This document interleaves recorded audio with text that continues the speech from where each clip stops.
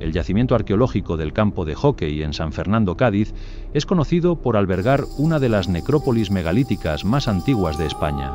Con más de 6.000 años de antigüedad, uno de los hallazgos más destacados del yacimiento son los cuerpos conocidos como los enamorados o el abrazo de 6.000 años, que consisten en dos cuerpos abrazados entre sí y cuyos huesos se encuentran bien conservados.